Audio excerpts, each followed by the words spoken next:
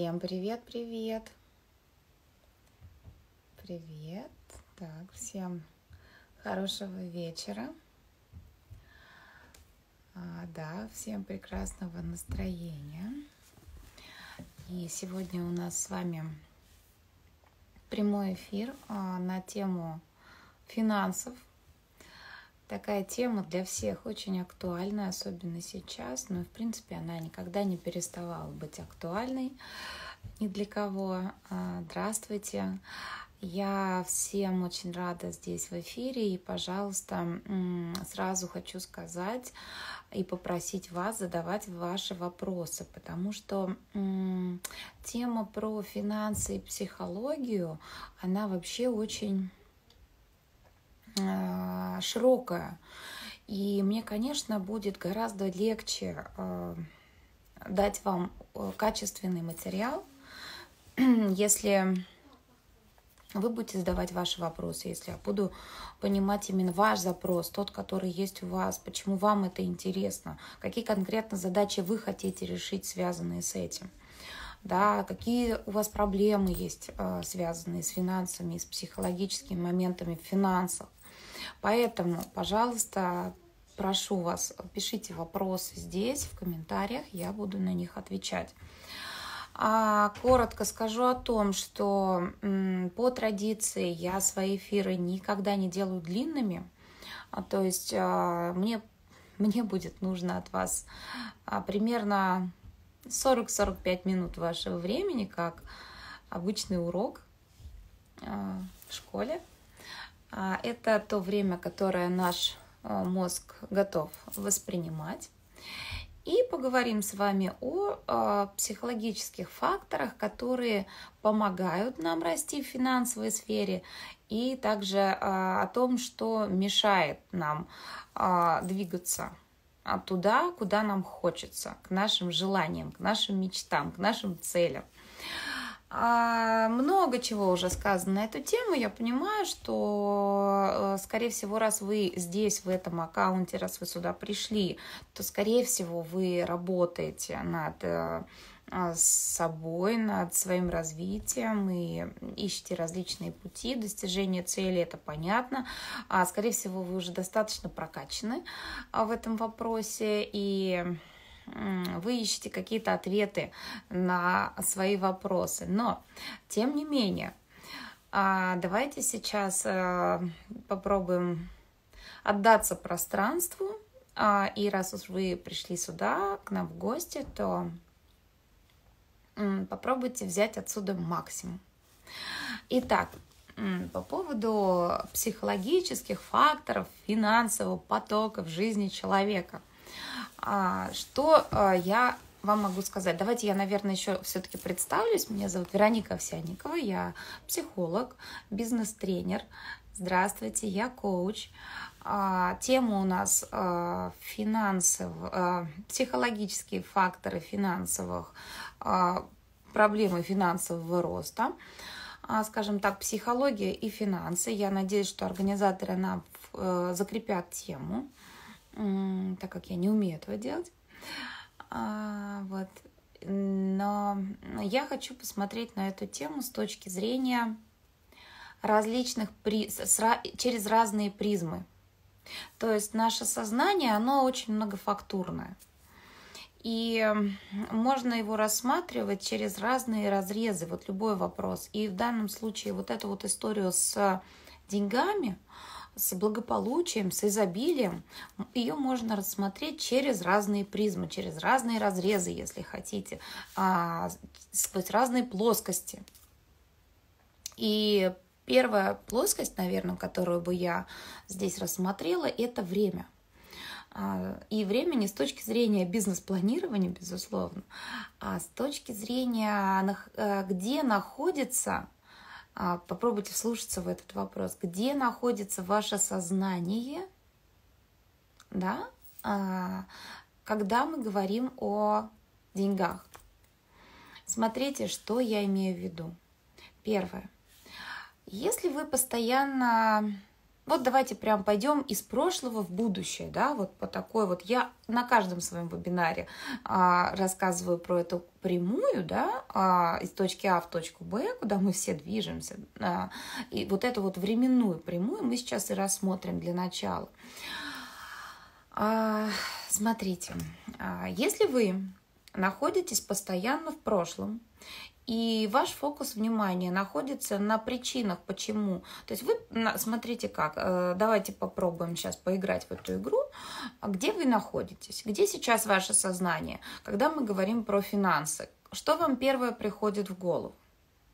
И если вам первое, что приходит в голову, это причина, почему сейчас у меня мало денег, Наверное, это потому, что мои родители были недостаточно богаты, мои родители были недостаточно образованы, или я вырос в каком-нибудь бедном городе а, маленьком, где было мало возможностей. У меня а, что их сейчас нет. А сформулируйте, пожалуйста, а, ваш вопрос а, в форме вопроса, и я смогу вам на него ответить. С удовольствием сделаю это. А, да, то есть вы ищете причины своего э, финансового состояния, того, которое у нас существует сейчас, оно у вас находится где-то в прошлом. То есть и вы все время такие, вот, если бы у меня то-то и то-то было лучше, то тогда бы, конечно, я был бы гораздо более изобилен. Вот. А с, психологической, с психологической точки зрения, что происходит? А, это а, обвинение да, к вопросу финансов. Да-да-да, я поняла, что вы к вопросу финансов. Дайте, пожалуйста, в форме вопроса, я тогда вам на него отвечу. Окей? А, вот. И то, то есть получается какая история? Вы психологически постоянно перекладываете ответственность с себя на какие-то факторы или на людей из прошлого, и таким образом вся ваша энергия находится там. То есть вот если бы было как-то по-другому, то сейчас у меня было бы лучше.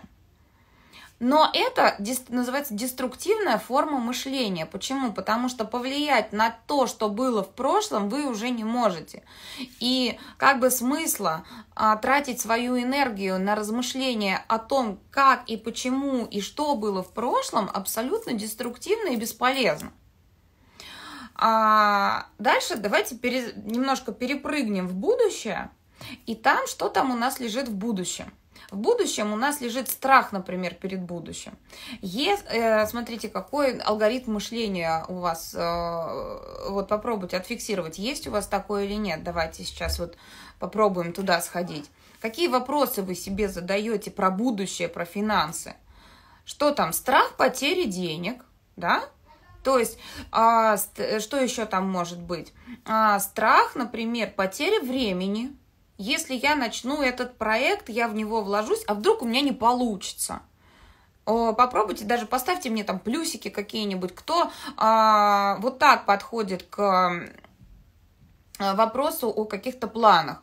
Вот у кого часто такой именно вопрос, такая установка возникает, а вдруг у меня не получится? А, то есть это негативные какие-то, это страхи и негативные установки, которые относятся к будущему. И это тоже ставит, да, да, спасибо вам большое за вашу реакцию, и это ставит вам блоки. А здесь очень важно сразу любой вопрос, который у вас в голове возникает, а вдруг у меня не, а вдруг я не, э, меняйте тут же, вот прям вам даю сейчас инструмент простой, эффективный, я таких инструментов вся в аккаунте даю очень много, прям сразу переворачивайте эту историю, смотрите, если у меня не получится, а что мне сделать для того, чтобы у меня получилось?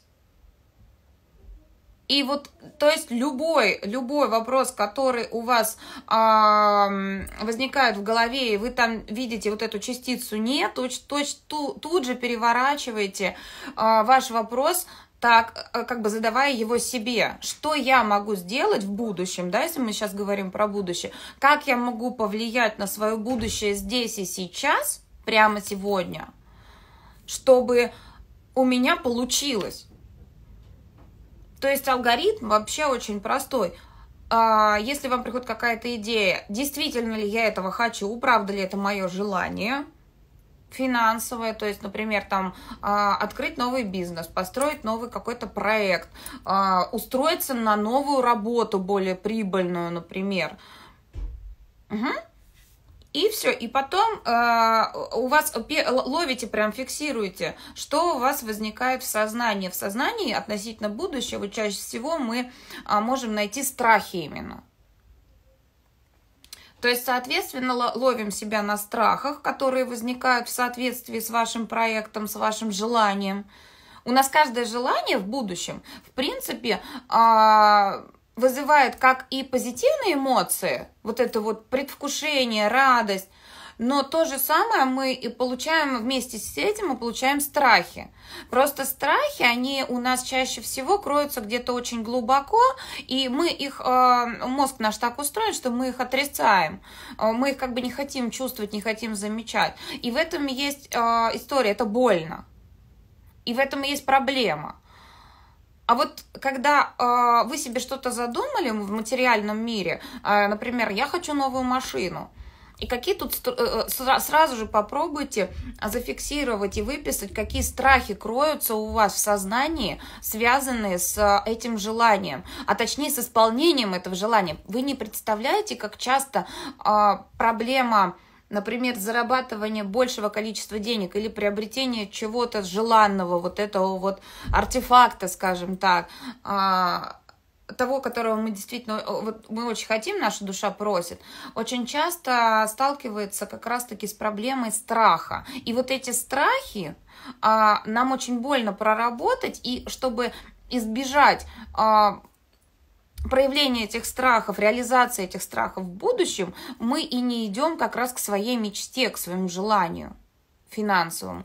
А иногда есть страх такой, что мне придется очень много трудиться – да, чтобы, например, купить вот эту новую машину, которую я хочу, мне придется очень много трудиться, мне придется пожертвовать чем-то ради этого, там, временем, проведенным с семьей, э, своими силами, э, еще чем-то, еще какими-то, ну, там, не знаю, э, возможно, мне придется, я не люблю общаться с людьми, да, я интроверт, а мне придется общаться с людьми, чтобы достичь вот этого вот финансового результата, ну, и поэтому, ну, и мы начинаем находить, да, вот, классный вопрос, да, что делать, чтобы... Вот сейчас расскажу. То есть у нас вот этот страх возникает э, э, вторичный, то есть мы его еще пока что не ощущаем. А иногда это вот есть страхи враги и страхи друзья. А на финансовую сферу они очень сильно влияют. И вот страхи друзья – это как раз те страхи, которые нас действительно оберегают, э, те природные страхи, которые вот нам дала матушка природа, а, оберегают, которые нас от э, опасности, там, не шагнуть, например, под КАМАЗ, едущий там поперек, э, то есть не выходить без шапки на улицу. Это такие ну, страхи друзья. И мы, соответственно, тут действуем просто в целях самосохранения. Есть страхи враги, деструктивные страхи. Вот эти страхи, которые чаще всего у нас работают как оправдание. А, ну, вот смотрите, давайте сейчас прям попробуем разложить ситуацию какую-то простую с этой же машиной. А сидит, ну вот я, да, буду на себе показывать, а, потому что мне уже не страшно. А, например, я хочу машину новую. Э, Причем хочу такую машину, которой у меня еще никогда не было, и мне а, действительно придется проделать, потратить достаточно много энергии для того, чтобы она у меня была. А, в этом случае мозг наш начинает работать в две стороны. А, то есть э, и у разных людей он идет в разные стороны. Позитивный сценарий – это когда мозг мне говорит, так, окей, я хочу эту машину. Какие ресурсы у меня сейчас есть в данный момент – для того, чтобы она у меня была. Допустим, у меня есть старая машина, которая там стоит энную сумму денег. Значит, вот, вот этой суммы мне не хватает. И какие действия я должен совершить для того, чтобы а, в такой-то срок у меня появилась нужная сумма денег.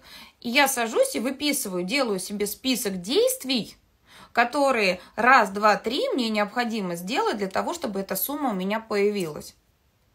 А, то есть абсолютно все объективно. Не нужно тут себя загонять ни в какие а, рамки невыполнимые в стресс, а просто понимая, что, а, допустим, я могу в такой-то срок заработать такую-то сумму, какие действия я должен для этого совершить, и, и просто мы делаем определенный список вот этих действий и идем по одному делу в день, себе вот прям пишем, вот завтра я буду делать то-то, послезавтра то-то, и, и просто планомерно идти за этим, за этим планом. Все, окей, тут мозгу все понятно, ему не страшно. А другой мозг другого человека идет в какую историю? Он такой, ой, блин, это сложно, это трудно. И он начинает себе искать такие страхи оправдания. Ну зачем? Ну то есть вот новую машину, ее же нужно обслуживать, да? А, она это, ее надо содержать. А если вдруг я там возьму кредит, например, то его же надо выплачивать. А вдруг в стране случится финансовый кризис, а вдруг я потеряю работу, и то есть, и там мы начинаем себе вот этих вот страхов оправданий набирать. То есть вместо того, чтобы вот этот список действий, да, мы себе список оправданий такие написали, посмотрели, порадовались, классно.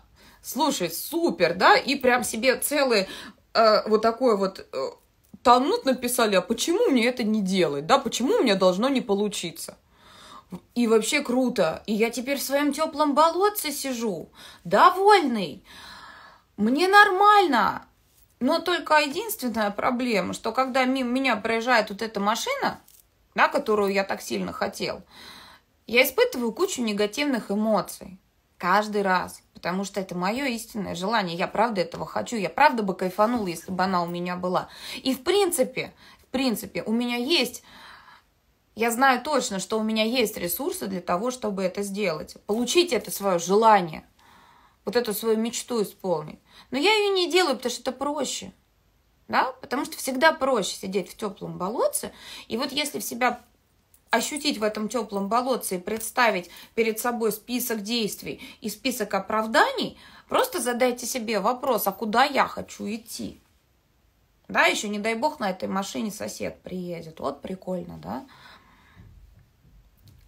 Поэтому, но можно много тут говорить еще про вот эту вот временную полоску, где ваши, где ваши мозги сейчас находятся, там в прошлом в обвинении своих родителей, там учителей и себя самого за какие-то ошибки в прошлом. В будущем, в страхах вот в этих. Или же мы все-таки возвращаем свою голову вот сюда, вот в момент, здесь и сейчас, где вы сейчас сидите и слышите меня – и принимаете ответственное решение, берете ответственность на себя, принимаете ответственное решение за свою дальнейшую жизнь и говорите себе так, стоп, я, пожалуй, посмотрю-ка я в этот список действий. И бог с ним, с этим списком страхов. Я их еще смогу проработать. Это круто. И есть классные инструменты для работы со страхами. А, коллеги мои дают очень много различных, целый вот букет а, разных инструментов. Я у себя в аккаунте чуть ли не через пост пишу про инструменты работы со страхами. Обратитесь, в конце концов, к специалисту, если у вас вы чувствуете, что самостоятельно не справляетесь. Только главное, важная, важная, единственная э, штука – это осознание того, что у меня есть, где я нахожусь. Как, как только вы поняли, что, например, вы в прошлом постоянно, вот в этом в обвинении, в страдании, как только вы в страдании, вы точно не здесь и сейчас. Страдание – это то очень удобная позиция для того, чтобы, ну, я страдаю. И типа я оправдываю себя и отсутствие того, что у меня есть. Как только вы поняли, как только вы поставили себе диагноз, грубо говоря, я, я живу в прошлом, и у вас э, открывается классная возможность в жизни, вы можете это изменить. Вы можете, э, то есть это хорошая новость, вы можете изменить и вернуться в настоящее. Поставили себе диагноз, что вы там, в будущем, в страхе за будущее – Потому что в будущем можно быть по-разному, но чаще всего мы именно таким образом находимся в будущем. Мы именно боимся, а вдруг не получится. Меняйте, меняйте, а вдруг, а вдруг получится. И вот тут вот начинается дилемма. А вдруг получится? И чего вы там боитесь-то, если у вас получится? Да? Ну окей. Значит, через призму времени мы посмотрели.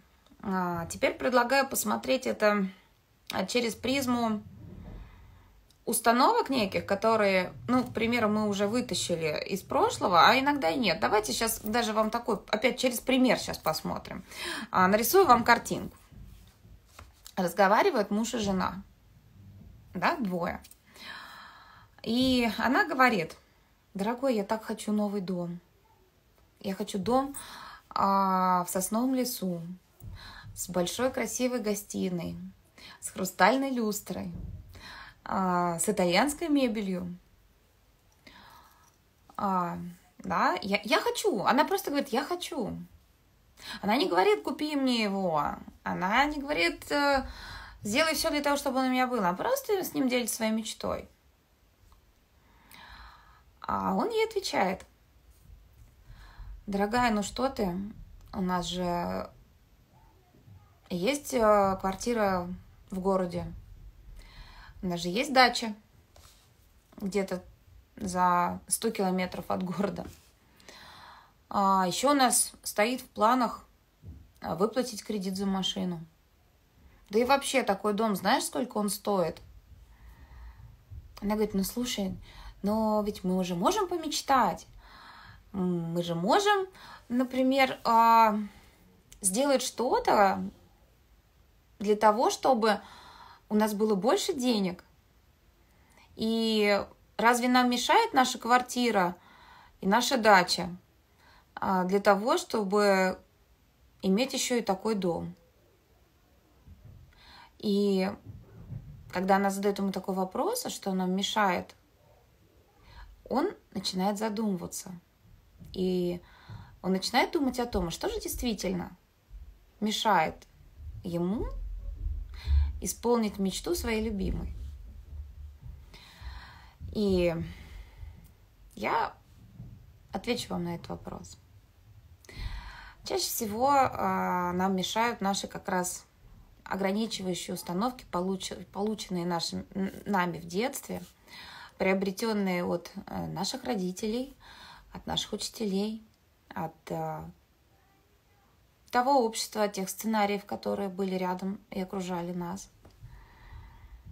А, и на самом деле нам ничего не мешает изменить эти сценарии и выбросить из своей жизни этот мусор а, в виде вот этих ограничивающих установок.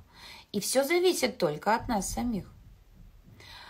Но, конечно, а, для того, чтобы их что-то выбросить, нужно что-то, чтобы, чтобы что-то ненужное выбросить, нужно что-то ненужное найти. Я, я перефразирую вот эту вот э, фразу, э, достаточно известную.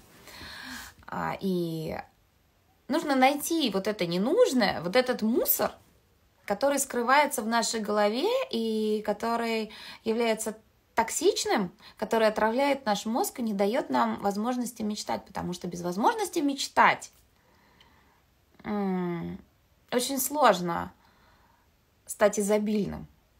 Именно это слово я люблю. Я, я еще потом вам расскажу про призму наших мыслей, мыслеформ и слов. А, это уже будет ближе к концу нашего эфира. А, но сейчас я именно хочу проговорить про вот эти ограничивающие убеждения, ограничивающие установки. А, и что здесь я могу вам порекомендовать? Как действовать в вашей жизни, в повседневной, для того, чтобы обнаружить эти установки. Это же очень простое упражнение, и уже мне в моем, ну даже работая с моими клиентами, я ну, ко мне приходят люди уже достаточно прокачанные, те, кто понимает, о чем я говорю, и если, может быть, вам что-то непонятно, вы можете задать мне вопрос. А, но тем не менее, если бы, как если бы я разговаривала сейчас э, с человеком, который никогда об этом ничего не слышал, то самое простое упражнение, которое я могу вам посоветовать сделать, порекомендовать, это выписать все пословицы, поговорки и какие-то выражения, а, которые звучали в вашем детстве, связанные с деньгами. Попробуйте их просто написать на бумажке. И, наверное, первое, а, что мне приходит в голову как пример, чтобы вы понимали, о чем я вас прошу, это а, вот эта аналогия, вот эта метафора с губозакаточная машинка. Или а, вот эта фраза про много хочешь, мало получишь. То есть попробуйте выписать все ваши от, от добра добра не ищут, да, лучший враг хорошего, а, куда тебе еще? То есть вот эти все, все, все, все, все убеждения, которые у вас на слуху связаны с деньгами, деньги зло, например. То есть вот все, что с этим связано, просто выпишите на листочек, посмотрите на это. А, когда вы это увидите, помните только одну вещь, что именно эти фразы вам, а, а, а, они как бы формируют ваше сознание. Да, и переходя к призме как раз, то есть это все и есть ваши ограничивающие установки. А, возможно, что там у нас было, знаете, анекдот вот этот вот, сейчас я вам расскажу один анекдот, я люблю вообще анекдот. А, он короткий. Революция, 17-й год. А, сидит э, Екатерина Ивановна, дворянка, смотрит в окошко, а по улице бежит толпа людей. А, что-то кричат, размахивают руками, размахивают оружием. Она обращается к своей э, гувернантке и говорит, Мария Сергеевна, а скажите, пожалуйста, чего хотят эти люди? А Мария Сергеевна ей отвечает, Катенька, эти люди хотят, чтобы не было богатых. Она задумалась, посмотрела в окно, повернулась и задумчиво а, ответила, странно, Мария Сергеевна, а мой папенька всегда хотел, чтобы не было бедных. Да? То есть э, одно другого не исключает. Наличие у вас уже каких-то материальных благ, той, той же квартиры, той же дачи, например, не исключает того, что вы имеете право, и вы можете себе взять это право, мечтать о доме. И не всегда нужно продать все, что можно, и там купить себе то, что хочется. Нет. Необходимо просто расширить свое сознание и дать возможность, первый шаг – это дать возможность себе хотя бы представить, что у вас это может быть, что вы достойны того, чего у вас пока нет. И что э, в нашей Вселенной волшебство не такое уж оно и волшебное, что магия – это всего лишь недоказанная физика. Вот в этом и есть секрет – Просто позволить себе представить, что это возможно. И, конечно, сейчас я хочу, а, у нас остается примерно 10-15 минут, и я хочу поговорить про вербалику, про слова, про мысли-формы, которые мы используем, а, которые живут в нашем сознании, и которые либо являются расширяющими для нашего сознания, и относительно нашей финансовой сферы в том числе. А, и также они, есть те мысли-формы, которые являются токсичными, которые как раз-таки блокируют и не позволяют нам а, пройти через вот этот стеклянный потолок, в который многие из нас упираются, а, которые вроде бы как достигли чего-то уже, но это не совсем то или совсем не то, чего вам бы хотелось на самом деле. Ну, смотрите, первое, что а, это то, что я уже назвала и то, о чем я рассказала в самом начале. Это фразы, которые мы себе говорим, те вопросы, которые мы себе задаем, когда думаем о том финансовом благосостоянии, которого, о котором мы мечтаем. То есть, что происходит? А, если человек хочет Если человек, человек мечтает, например, о том, что, ну, во-первых, тут есть такая история а, про деньги ради денег. А, деньги ради денег не работает. А, я хочу миллион долларов, не работает. Я хочу миллион долларов, зачем? То есть э, первое это что это задать себе вопрос, зачем, зачем мне эти деньги, зачем мне это нужно, как я их потрачу, как, какое удовольствие я получу, э, каким я буду, когда у меня будут эти деньги. Потому что когда мы не знаем зачем, то э, ну, по закону Вселенной не приходит, не работает. То есть ответив себе на вопрос «зачем?», вы, вы уже точно начинаете, вот как вот этот вот э, у самолета фонарик, вы начинаете сви- подсвечивать себе ваш путь, правильный путь, который вас приведет к результату. А, второе – это а, прави, задавать себе правильные вопросы. Не почему у меня должно не получиться, то есть фокусировка тут на негативе а что я могу сделать для того, чтобы у меня получилось. То есть все вот эти вот фразочки, которые вы себе выписали из прошлого, а, все пословицы, связанные с деньгами, вот все, что вы, вы выписали себе на листочек, теперь напротив каждой этой фразы напишите себе позитивную установку, которую вы будете использовать в будущем. То есть, если от добра добра не ищут или там лучший враг хорошего, э, вот очень классная есть фраза, это нет пределов совершенству. Да? И постарайтесь каждую э, вот эту вашу негативную фразу, э, установку или мыслеформу перевернуть, развернуть в позитивную установку. И пусть эта ваша новая позитивная установка станет вашей так называемой мантрой. Заглядывайте в этот листочек периодически, когда там вы скатываетесь, например, в прошлое, когда вы скатываетесь в обвинения других людей в ваших неудачах. Берите этот листочек, читайте его заново и идите дальше, живите свою вот эту жизнь здесь и сейчас. Через действия, которые я могу сделать здесь, здесь и сейчас, через то, на что я могу повлиять здесь и сейчас. Потому что на погоду я повлиять не могу.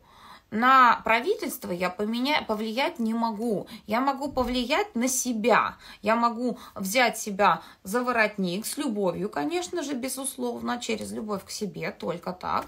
И сказать, дорогая, смотри, ты хочешь вот эту машину.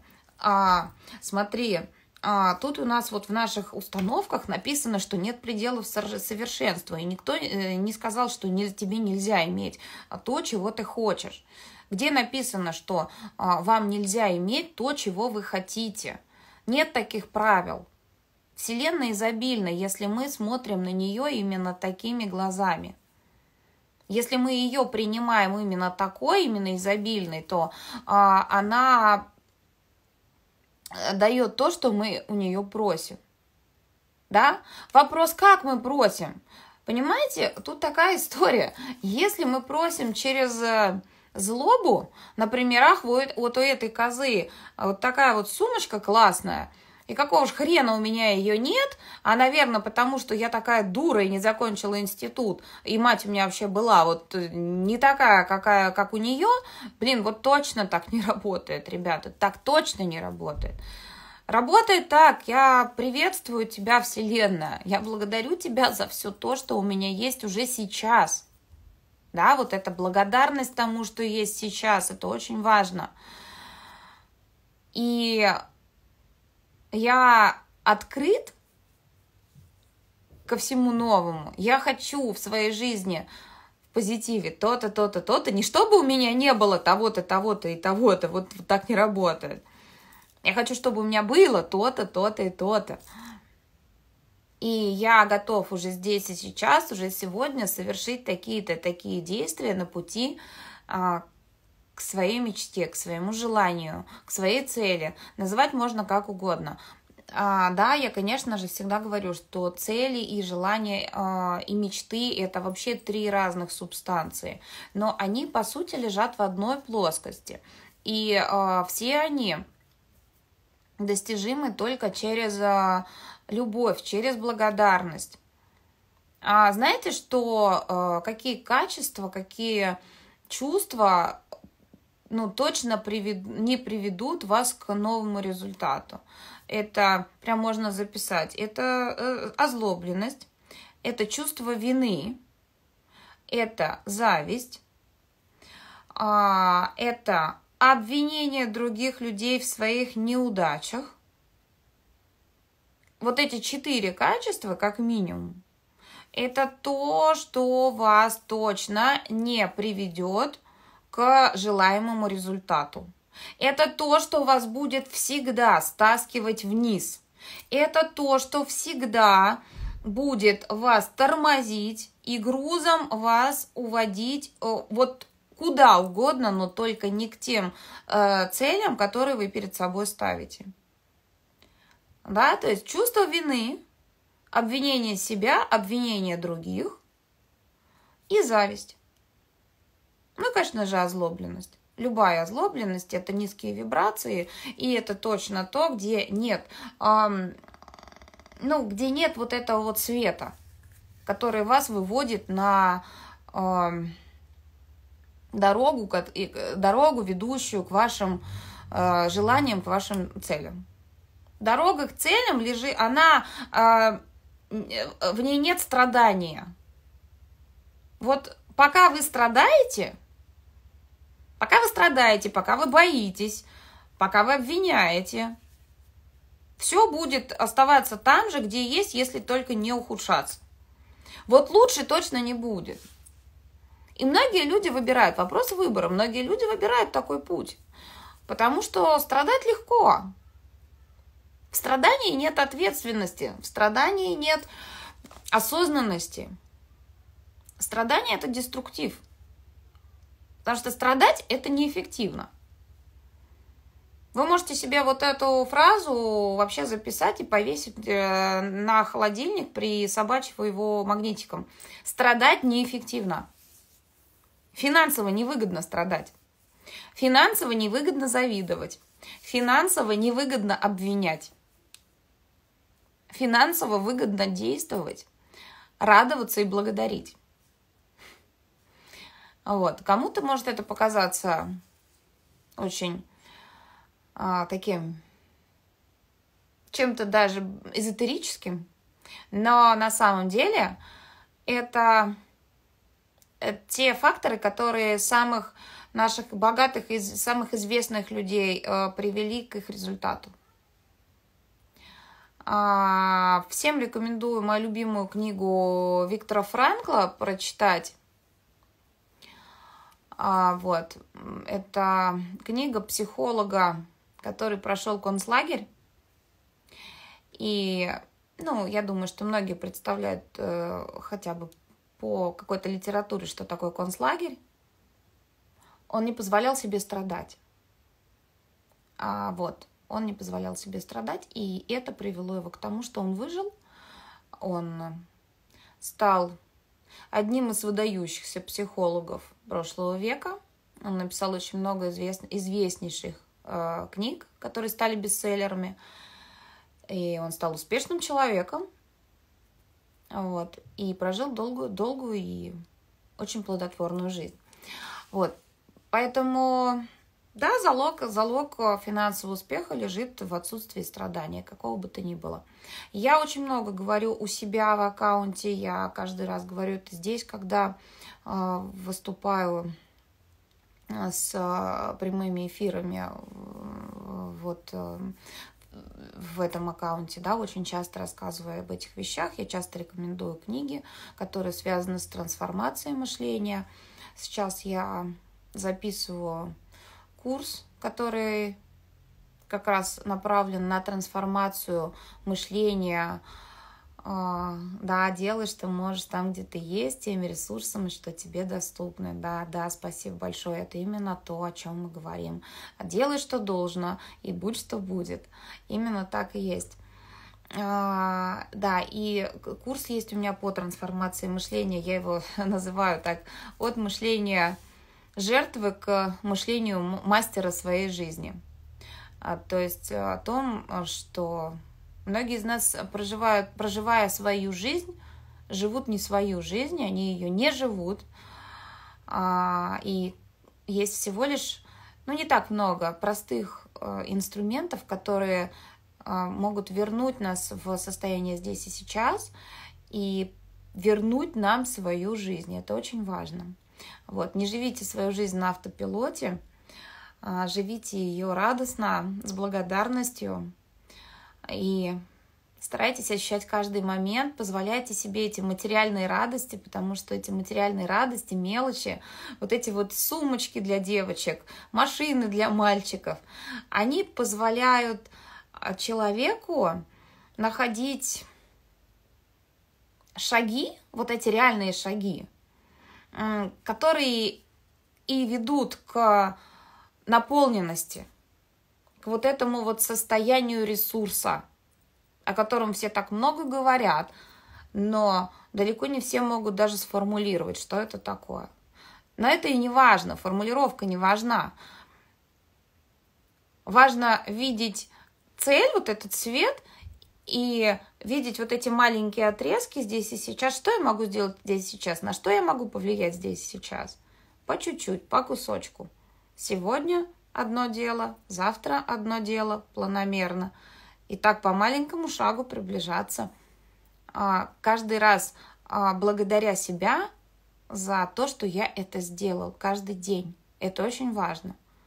Каждый божий день поблагодарить себя вечером или с утра, что я сделал еще один шаг на пути к своей цели, к своему финансовому изобилию, да, к своему благополучию.